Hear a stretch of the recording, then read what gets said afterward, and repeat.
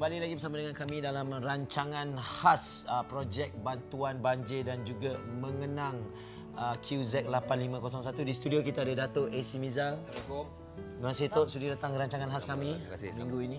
Tok, 2014 uh, begitu hebat sekali negara kita diuji tu eh. Dan mula dengan uh, MH370, kemudian kita diuji pula dengan MH17, Yep. kemudian dengan bencana banjir ni Tok. Lepas tu tak habis lagi Tok. QZ8501. Ap- dar- Daripada segi nak cakap positif ke macam mana Tok? Daripada segi positif Ah, apa ramai, yang Tok ramai orang ramai orang tak sedar yang bahawa ah, benda-benda yang berlaku sebenarnya adalah sebab kepeseka- ah, kepesekatan ekonomi ataupun ah, ekonomi kita semakin meningkat. Contohnya apabila sekarang macam banjir yang berlaku sekarang ni, adalah apabila kita penduduk makin ramai, teknologi makin tinggi, ah, struktur ekonomi semakin besar, jadi bukit-bukit ditarah dan sebagainya. Dan kita tak boleh nak lawan benda itu sebab apa? Takkan kita nak marah orang untuk membuat pendapatan untuk orang lain. Betul. Dan contohnya pula macam baru-baru ni dengan uh, Asia dan sebagainya. Yes. Okay, dengan uh, kepesekatan uh, apa ke, uh, kesepakatan ekonomi yang semakin meningkat ni kan aircraft lagi banyak. Uh, uh, banyak lagi merantau dan sebagainya. Okay, mungkin daripada segi servis sistem tak betul dan sebagainya.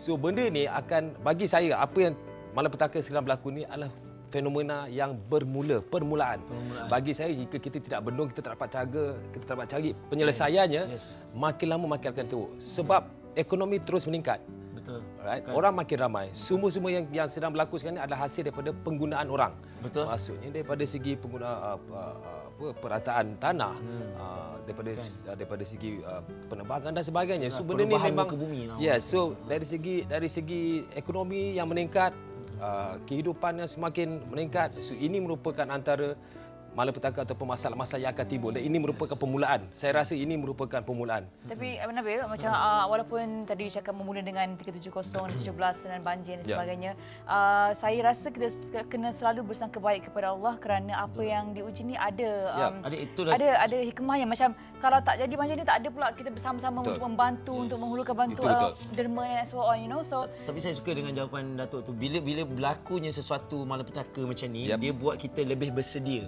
Kita kena bersedia. Kita kena lebih bersedia. Apa yang perlu kita lakukan sekarang adalah memikirkan jika benda ini berlaku, Berlaku lagi, lagi. apa yang perlu Persediaan dilakukan. awal. Ha, itu sebabnya baru-baru ni saya pun melibatkan dengan saya punya ACP Sure Lovers Family, yes. Sebenarnya fan club. Kita lakukan sesuatu sebab kesedarannya harus bermula daripada anak-anak lagi. Betul. Alright, sekarang ini kita dapat tengok kalau kata daripada segi berita-berita yang kita tengok, daripada segi apa kita dapat tengok yang jadi mangsa adalah anak-anak. Ah, Yes. Sebab apa yang dewasa ni masih lagi boleh menjaga diri dan sebagainya. Dan malapetaka ni ada tiga fasa sebenarnya. Fasa pertama kalau contohnya banjir adalah proses penyelamat, menyelamatkan orang. Menyelamat orang. Fasa kedua adalah kebajikan orang. Yes. Fasa yang ketiga kita belum tempuh lagi. Ramai orang di sosial media dan sekarang ni tertumpu pada dua fasa, Fasa, ni. betul. Fasa ketiga ni adalah over. membaik pulih. Ya. Ini yang paling bahaya. betul yang paling banyak Yang dua ini kita tentu arif. Betul. Sebab dalam sosial media terpapar, dalam berita terpapar yang yang pelibatan membaik Clean pulih ni, clean up ni, Clean nak up baik ni. pulih. Ya, Baju sekolah anak, keuangan, rumah,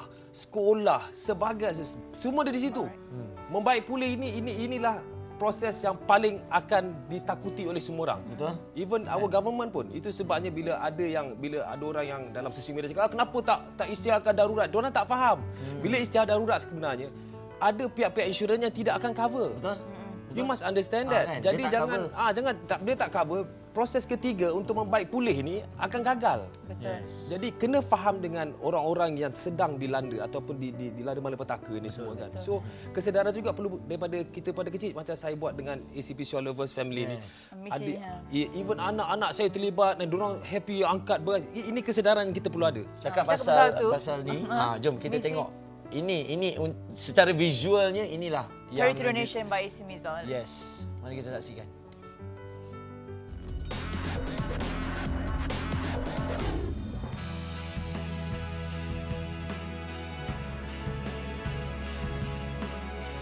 Assalamualaikum, saya Imelda dan ini suami saya, Adam Ramli.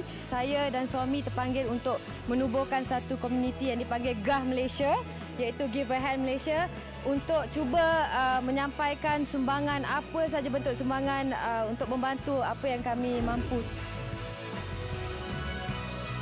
Kami juga mendapat kerjasama daripada uh, klub uh, Triton uh, Tuners Club yang mana TTCM akan jadi transporter untuk menghantar bantuan-bantuan ini ke mangsa-mangsa yang terlibat dengan musibah banjir. Assalamualaikum warahmatullahi wabarakatuh. Saya Simizal yang mewakili AC Pisior Lover. Saya rasa bangga sebab apa AC Pisior Lover sanggup turun padang hari ini untuk menjayakan uh, mencari bantuan dan juga semangat untuk masa-masa banjir. Kami harap kepada semua rakyat Malaysia semua sekali pray bukan saja for Pantai Timur Pak, pray for Malaysia. Tok, dia. apa yang, untuk saya eh, personally apa yang saya nampak ni tadi seperti mana yang Datuk cakap tadi, Mhm. untuk anak-anak kita Yes. mula berfikir macam mana Yes. nak memberi bantuan. Betul. Negara kita, terus terang cakap sampai ke tahun 2013 apa malah tak ada, tak pernah berlaku Bencana bencana. apa-apa, betul. Macam dulu yang dekat Kelantan 2004 pun dia orang seolah-olah macam settle-settle sendiri je. Betul. Hanya ada pihak-pihak je yang tolong. Tapi sekarang ni disebabkan terlalu banyak benda Terlalu berlaku. teruk. Terlalu teruk. Ya. So budak-budak pun macam apa yang Yes. boleh kita tolong? Itu sebabnya bila saya libatkan dengan ACPC All Lovers fan uh, my family kan okey saya melibatkan adik-adik anak-anak semua sini sebab bagi saya kesedaran tu penting sebab sekarang ini bila kita nak terlibat dengan agensi-agensi yang lebih besar okey kita pun akan rasa macam perlu ke tidak macam contoh macam tadi? Dah dikutip 200 tan 200 tan, alright, setakat okey. Ya. tapi sekarang ni daripada skil yang kecil. Maksudnya kita boleh mulakan daripada rumah kita sendiri, daripada adik-beradik kita sendiri, daripada macam apa yang saya lakukan dengan dengan ACPC All Lovers adalah merupakan di mana aktiviti dijalankan saya bersama dengan fan club saya. Hmm. Alright, jadi itu merapatkan lagi. Kita bukan sekadar untuk berhibur dan sebagainya, Betul, tapi betul. kesedaran. Yang penting kesedaran. Beramal itu mana-mana pun you boleh beramal. Betul. You sampaikan kalau kata you tak sampai nak sampaikan bekalan, you just berdoa pun dah syukur alhamdulillah. Dah syukur. Ha, Itu cakap pasal tu Datuk, saya ada tab, uh, tubuhkan Nelofar uh, tabung amal tabung Nelofar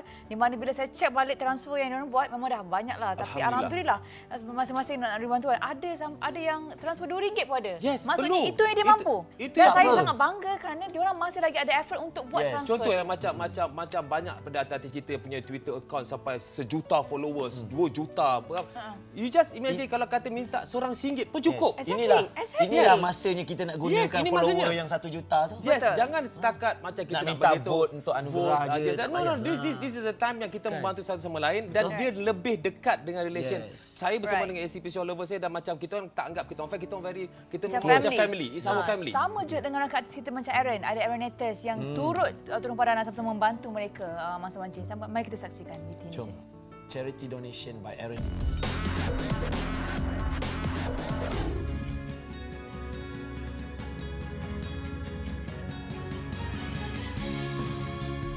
Assalamualaikum, saya Aaron Aziz dan juga fan club saya Aaronators dan bukan Aaron- Aaronators juga. Uh, sekarang kita berada di bangunan Kiss and Cream uh, untuk uh, mengumpul keperluan asas untuk membantu mangsa-mangsa banjir dan inilah musim kedua Aaronators dalam projek Banjir Aaronators.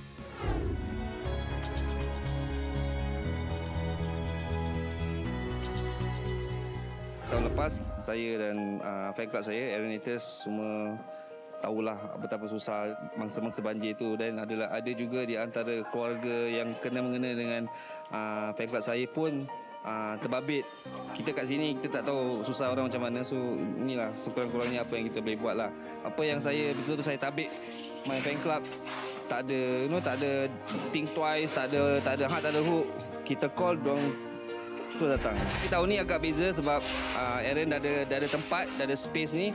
So senanglah untuk kita buat satu meeting point uh, untuk letakkan barang-barang ni. Kita akan serahkan semua ni kepada TUDM kat Subang. Saya Aaron Aziz menyeru anda semua untuk ramai-ramailah kita membantu mangsa-mangsa banjir di seluruh Malaysia ini. Sempat berbual juga dengan Datuk. Apa Ya. Nabil yang nak kongsikan lagi? Uh, Tok, sedang negara kita dilanda bencana. Mm-hmm. Ada juga pihak-pihak ni, bukan pihak lah, individu-individu ni yang memang saya tak tahulah akal dia dekat kepala lutut ke atau memang dia Tak tak, sensitif lah, dia tak sensitif. di-brief oleh ibu bapa apa yang boleh, apa yang tak boleh. Keyboard-keyboard warrior ni tu. Ah, Masalahnya benda sebarkan ni tak kena kat diorang. Kalau kena dekat family Exactly. sendiri baru tahu. Contohnya Betul. macam yang saya paling pelik adalah apabila diorang cakap benda mempolitikkan keadaan ni. Come on Betul, guys. exactly. This is not the way. This is not the time even. This is not the time. Yeah. Contohnya macam contohnya minta diumumkan darurat. Korang tak faham masalah orang yang mengalami yang sedang melanda banjir ni apa masalah diorang di masa akan datang nanti apa yang diorang perlu apa yang diorang nak kau kena faham benda tu sebab apa jangan saja-saja nak buat cerita bagi orang sakit hati lepas itu buat benda-benda yang tak sepatutnya dilakukan dan lepas itu yang jadi mangsa adalah orang-orang yang dilanda banjir ni. Mangsa keadaan adalah mangsa bencana ni. Yes, Yeah. sebab kita sekarang ini risaukan fasa ketiga. Yes. Membaik pulih. This is yang paling bahaya sekarang ni. Betul. Fasa kedua memberi semangat. Siapa-siapa Apa boleh kata datang. orang-orang yang apa kata orang-orang yang suka mengutuk dan mengomel Yes. dan mengom, mengomplain dan mengomplain orang ya. Kita jumpa dekat Turun. pantai baru nanti. Ha, saya nak minta, and then, and then saya nak minta ramai Pantai artis, artis-artis yang turun padang. Syukur Alhamdulillah bagi saya. Tetapi tolong ikut agensi-agensi tertentu. Jaga keselamatan. Sebab apabila kita banjir ni kadang bukan setakat air saja. Binatang buas, ular dan sebagainya ada. Betul. Please ikut uh, uh, laluan dan agensi-agensi yang Betul. yang betul. Terima kasih banyak Datuk. Tok, terima kasih banyak, Tok. terima kasih. Sudi datang, Thank you, Tok. thank you, thank you very much. Alhamdulillah. Segala apa yang Datuk cakap tadi itu orang kata sepatutnya dimanfaatkan oleh mereka-mereka yang sedang menonton sekarang ni. Alright. Alright. Terima kasih kita rehat sebentar Nabil. Kita rehat Kita sekejap. kembali sebelah sini dalam rancangan khas bersama dengan Uh, artis-artis gegar Verganza selepas ini.